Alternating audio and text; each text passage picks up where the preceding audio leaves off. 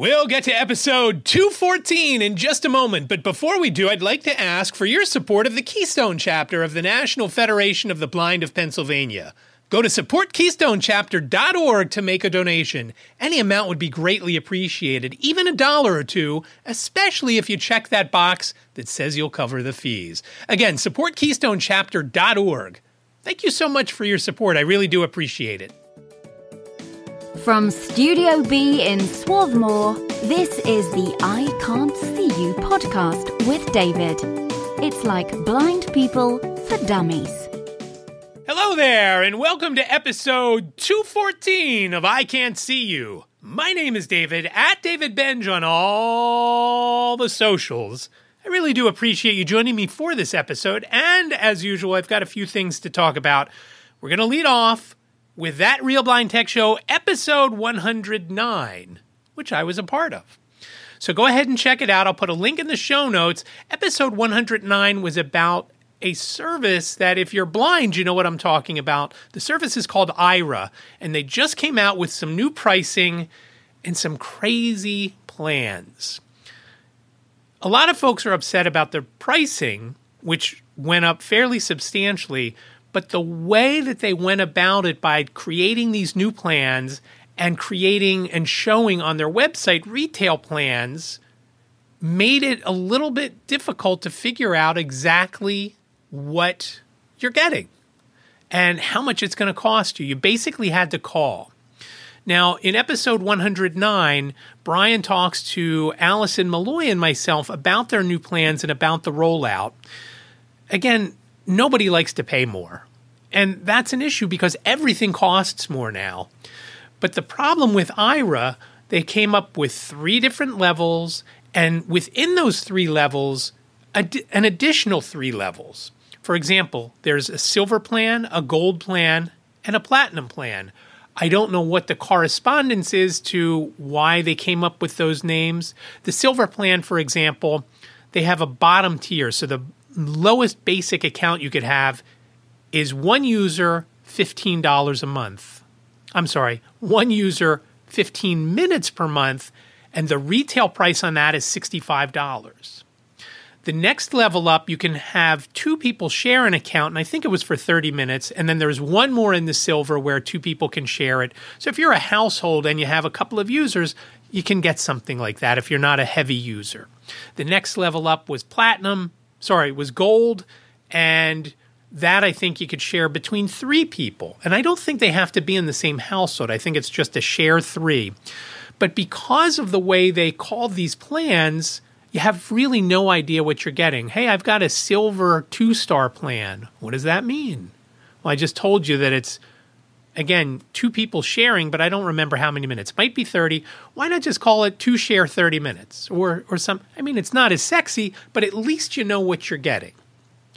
So we talked about that, and then Brian talked to the CEO named Troy and Janine Stanley uh, of Buckeye Hairless Nuts fame from last year's draft video, which can still be seen at iCantCU.com slash football. And I swore I wasn't going to talk about fantasy this week, but there it is, iCantCU.com slash football if you want to watch that video one more time. And if you haven't seen it yet, I I just can't believe it because I've been talking about this for almost a year and a half now. so the Aira plans are a little convoluted. The price increase was dramatic. Troy and Janine really go over the reasoning behind it. And look, everybody wants Aira to survive, and they've got to survive. They've got to pay, they've got to charge more if they're going to survive. So Janine and Troy talk about that. They talk about why they have the retail pricing up there. They have partners. For example, Target is a partner, meaning you could go to Target and use Aira for free. Even if you're you don't have a plan, you could go into Target and say, "Hey, I need some help shopping around," and get on Aira and have that all done help uh, with the help that you need. So Target would pay $65 for those 15 minutes. And the top plan is for 800 minutes and something like $2,800 or something like that. The only way a consumer could figure out what they pay is by calling and talking to a CSR. And they will figure out, you answer a few questions, and then they will give you your pricing. So that $65 plan for the 15 minutes works out. Brian was talking about somewhere between 40 and 50 bucks, probably closer to 50 bucks. Still a lot, but most calls are pretty short. And it's just something that it, had to be done if they're going to survive. They have to survive. And to survive, you got to make money. That's the bottom line for any business is the bottom line, as I've mentioned 8 million times here. So go ahead and check that out. That's that Real Blind Tech Show, episode 109. It dropped uh, Monday or Tuesday uh, of the week, and I'm recording this on Sunday. I'm actually, this is the second time I'm recording this episode because the first time I recorded it, I didn't like it. As I was editing it, I got about two thirds of the one done, two thirds of the way done editing, didn't like it, and I got rid of it. And so this one hopefully will have very few edits because I do want to get it out today. It's Sunday afternoon. I recorded the first time on on Friday afternoon or Friday. Uh, well, actually, it was Friday night, Friday the thirteenth, in the eleventh hour, and I I didn't like it as I went through it. Whether I was tired and was forgetting things from my outline, I'm not sure. So, the next thing I wanted to mention was my iPhone, and I'm going to talk more about this in the next episode. I'm trying to keep what I had in the previous recording similar, and there's more to add to it because I went to the Apple store today, but I'm going to leave that for the next episode because I am just infuriated with what went down today, and I'm going to pass on that for now. Just know that I was having still having difficulties with my phone on two fronts. One was the focus issue, which I've mentioned before. That's where you let's say you want to call somebody back who's called you earlier in the day. And so you would find their name on your recents list. And then again, when you're using voiceover, you have to touch what you want and you hear the person's name. Let's say you're calling your friend Joe so you find Joe on that list and you hear it say Joe, and then you would double tap after you hear it say what you want. In the past, and I guess it's since iOS 16 came out, and, and it focused has focus has been an issue for more than iOS 16, but it just seems like it happens often now. Almost every time I place a call using the recents list, I end up calling somebody else. And I would say that if I were sighted and I called the wrong person, well, maybe you touched the wrong name on your recents list. But again, with voiceover, you've got to hear the person's name who you want, and then you can double tap. And when you double tap, you can double tap anywhere on the screen because the focus should be on Joe. And when you double tap, Joe should be the one you call. It happened to me twice last week where I got to again, let's just use the example of Joe. I wanted to call Joe, and I don't have a friend named Joe, by the way.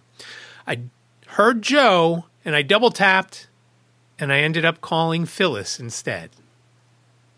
And fortunately, when I called Phyllis, and these names are all made up, when I called Phyllis, it went to voicemail right away. So I didn't even realize I had called Phyllis because I had, like I said, I found Joe's name in the recents, double tap, and the only time I knew it was Phyllis was when I heard the voicemail come on. So it's been an issue. And it's not just with the phone. When you're on a web page, when I'm in Safari and I hear back button, and then I go to double tap, right before I double tap, it switches to something else, whether it's a link on the page or some other navigation or something like that. And it's so frustrating.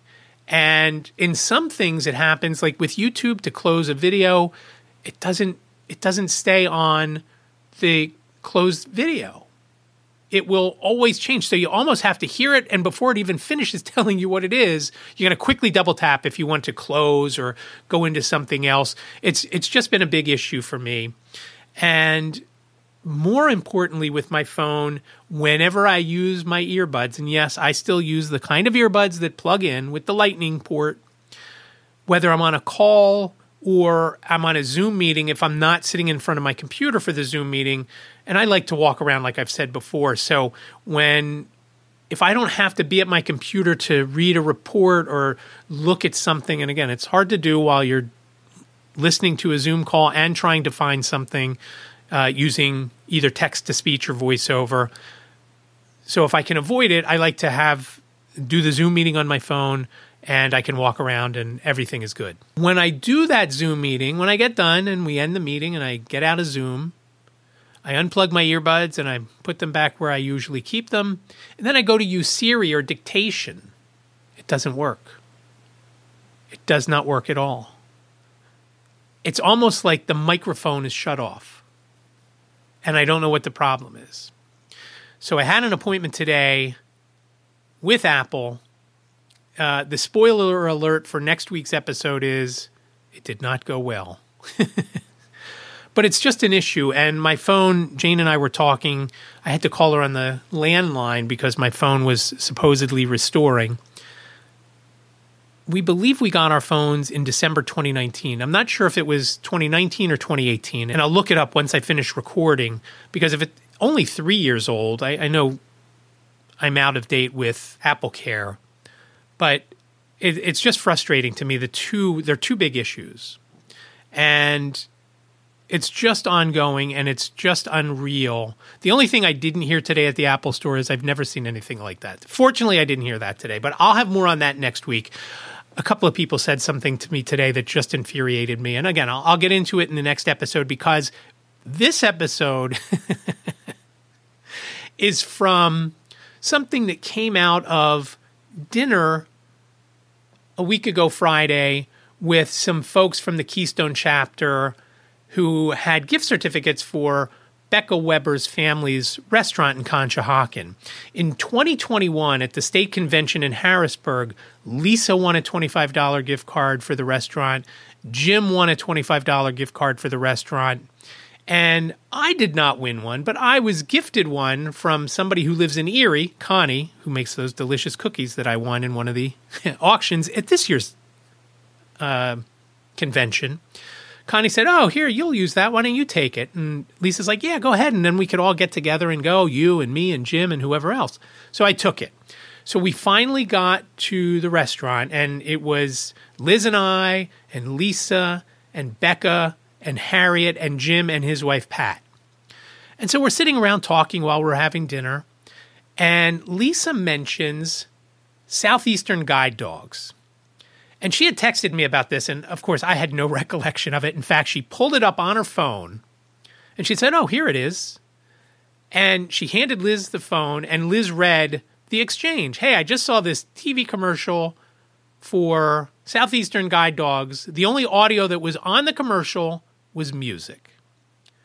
And I said, wow, that's crazy. I'll have to look into that because that is just ridiculous. And I immediately forgot about it. That was back in early December. And now we're at dinner in early January or mid January, I guess at this point, maybe early January. I guess it was the 6th. And so we're talking about it again.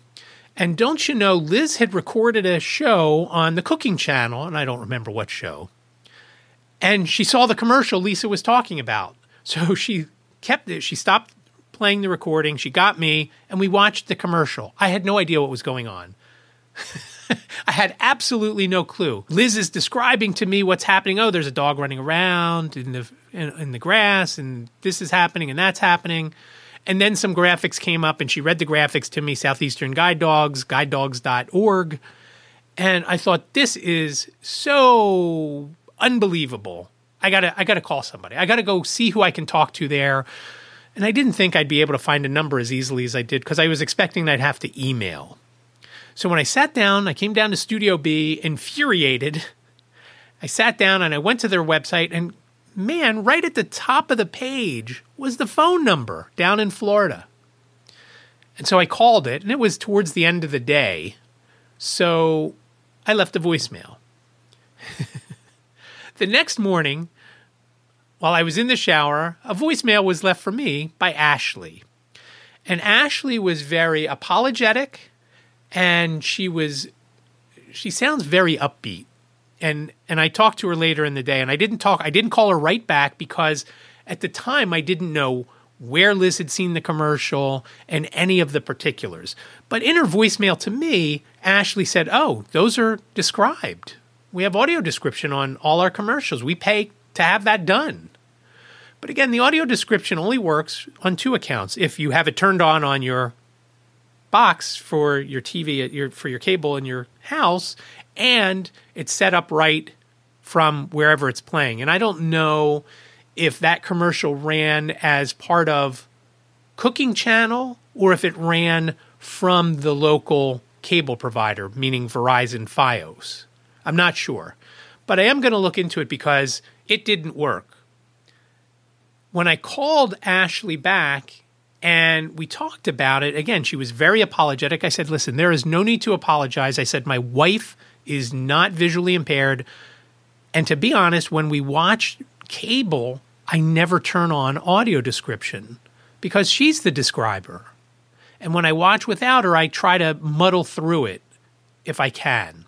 When I watch on Amazon Prime or I watch on Netflix, I turn it on. In fact, I have the profile set up so I don't have to do anything. So it's not a pain in the neck to figure out what's going on.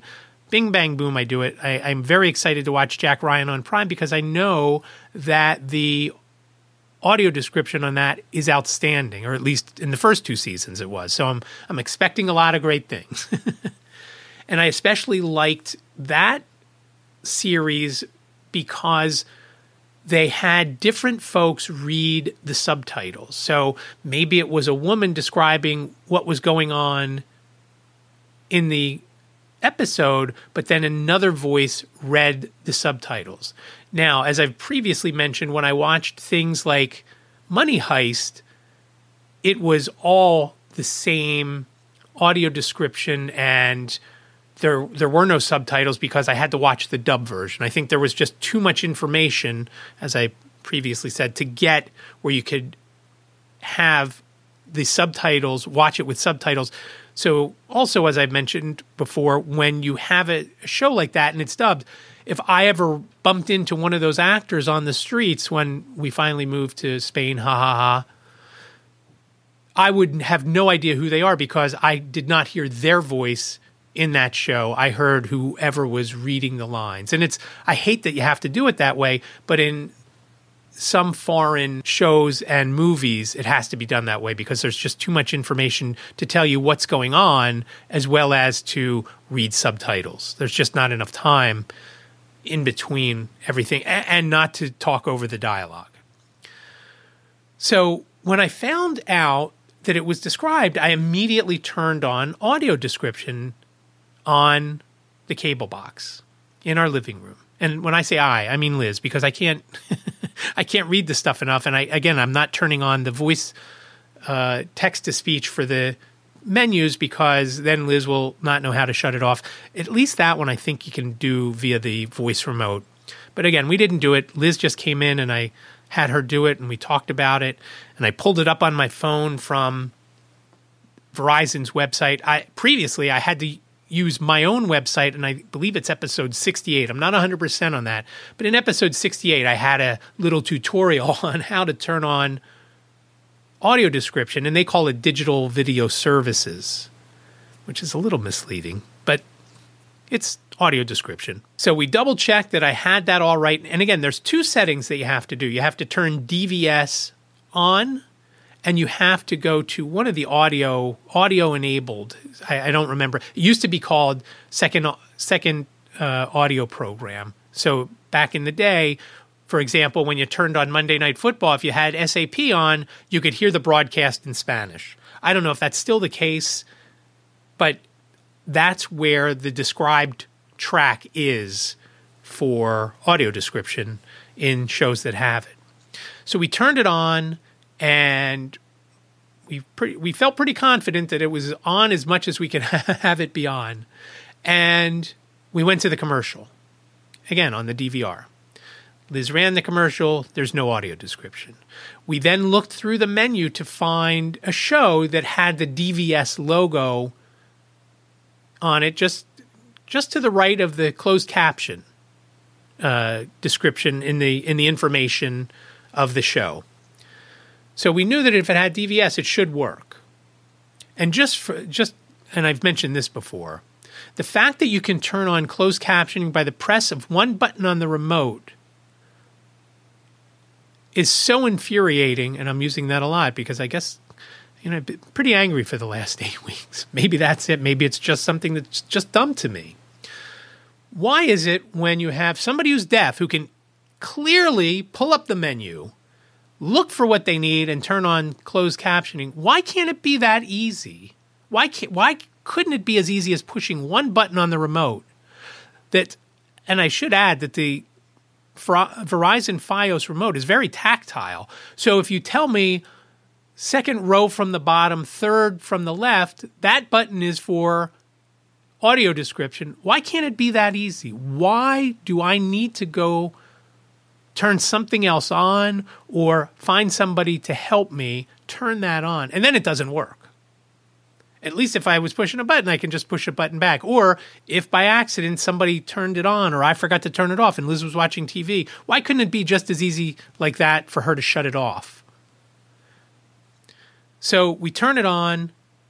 And so now we're looking through the program guide to see if anything has DVS next to CC so we can see if audio description is working. And a rerun of Young Sheldon was on, I don't know what channel, but we went to that station, put it on, no audio description. We found something else, put it on, no audio description. At this point, I was pretty frustrated, and Liz figures, well, I got to make dinner now. So she starts making dinner. She's like, why don't you call Verizon? that was a mistake because it's dinner time and they're asking me to do all sorts of things once I tell them the problem.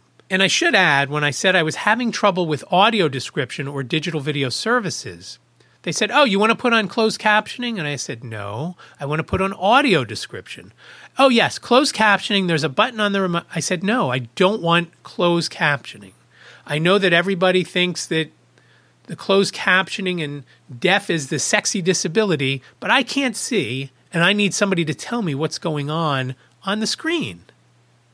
I can hear okay, and right now it's just okay.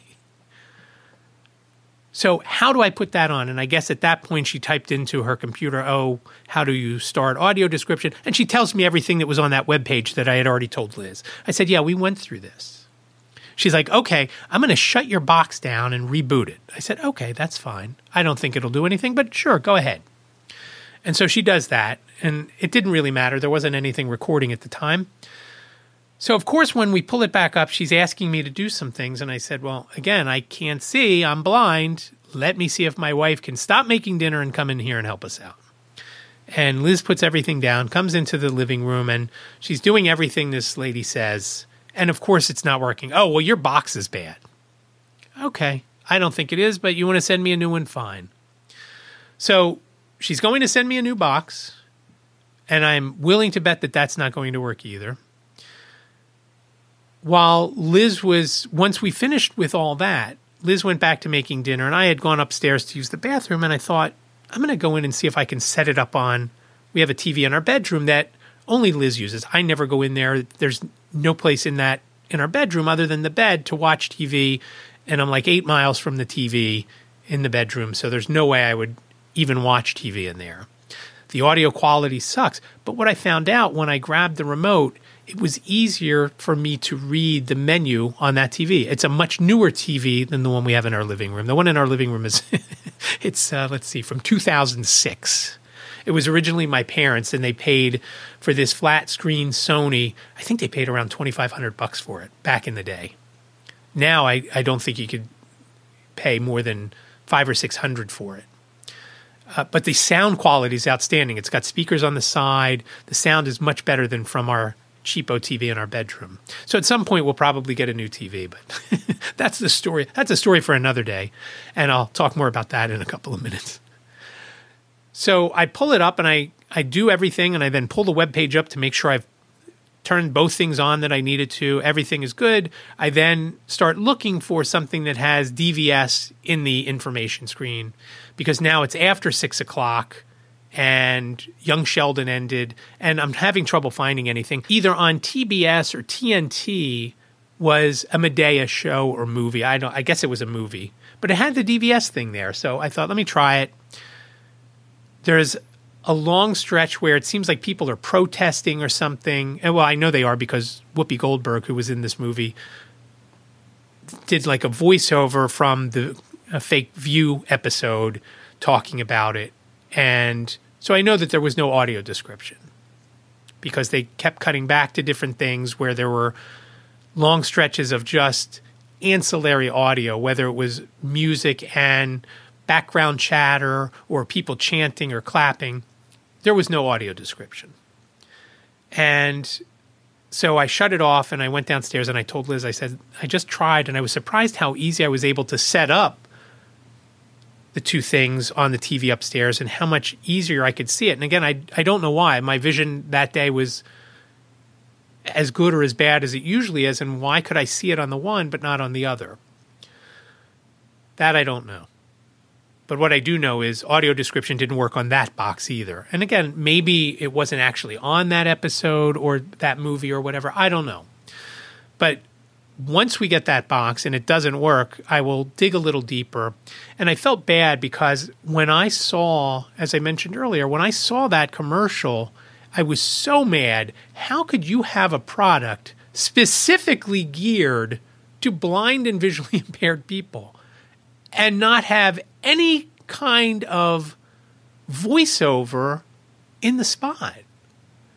And I'm willing to believe that if when I talk to Ashley during the week after I tell her I found no audio description on that commercial, the next time they do spots, they will have some sort of voiceover so that they don't have an issue in the future. Again, a, person who is not blind or visually impaired doesn't need a guide dog. They can clearly find the elevator on their own or the door on their own or whatever.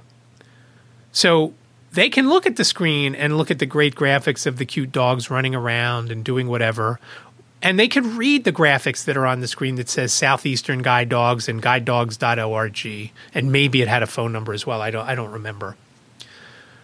So it was I, I came down I thought that's the episode this week and that's terrible. But when I got the call back, I felt bad how ready I was to jump all over Southeastern Guide Dogs. And I don't know how good or a bad of an organization they are. But in this instance, again, Ashley was very friendly, very professional, very apologetic, and she is the right one to have in that job.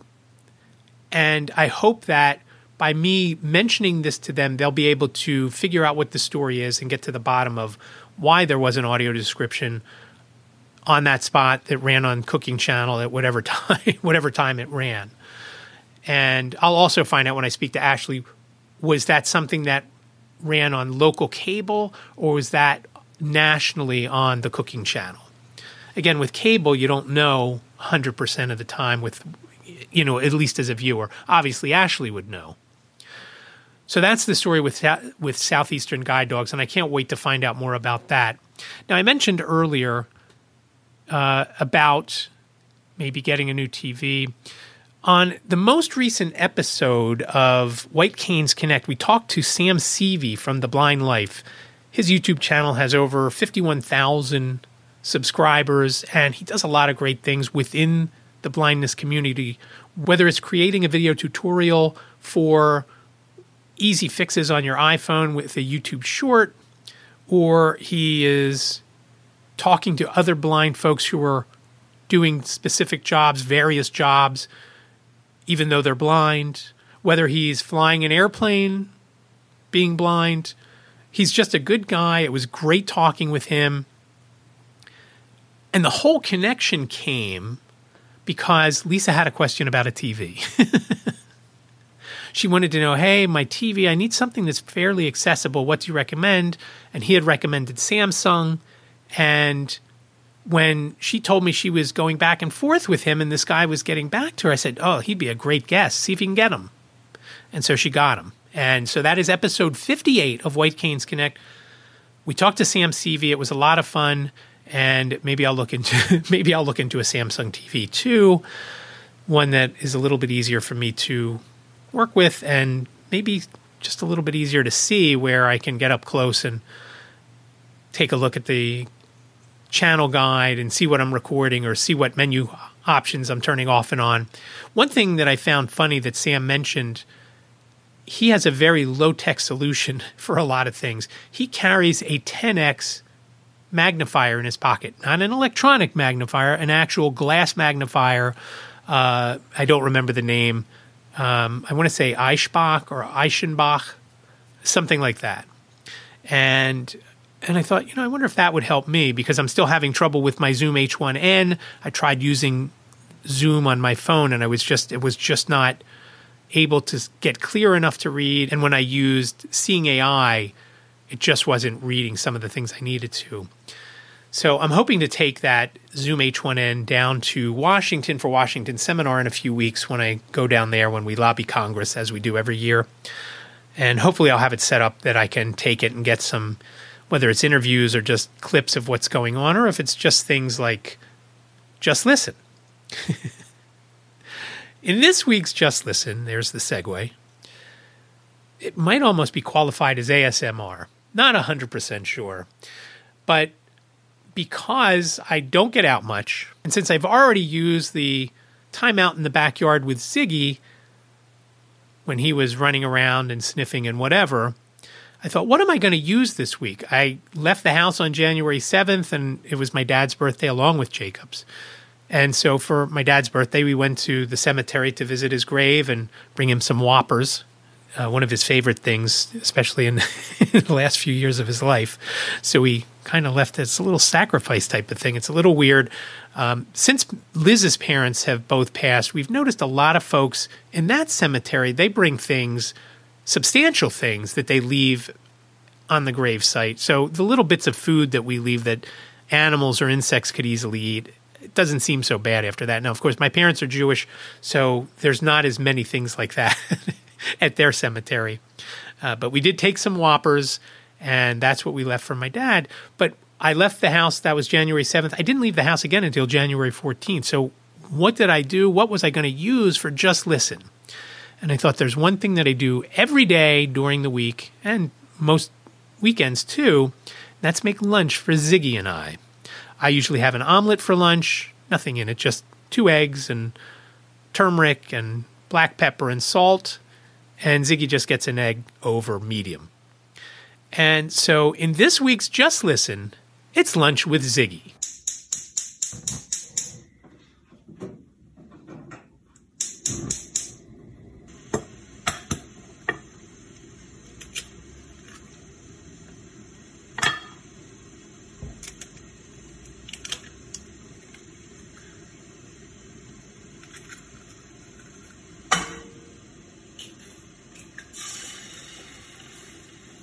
All right, Ziggy, your egg is on, buddy.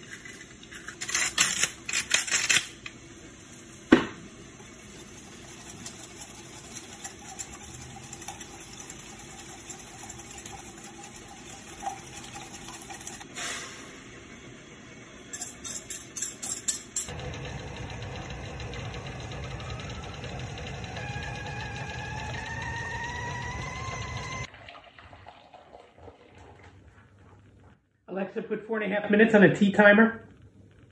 Tea timer. 4 minutes and 30 seconds. Starting now. That's a good boy. Bon appetit. Your tea timer is done. I can tell you that he enjoyed lunch that day. and he enjoys it every day. I always ask him after, how was it? Was it good? And he'll lick his lips.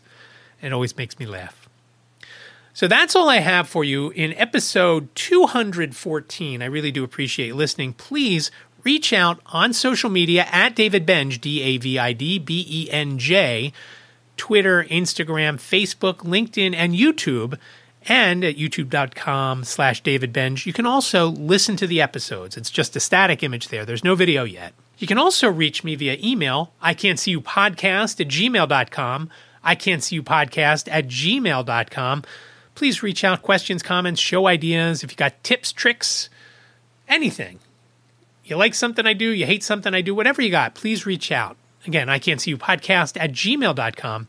There's also the phone number 646 926 6350.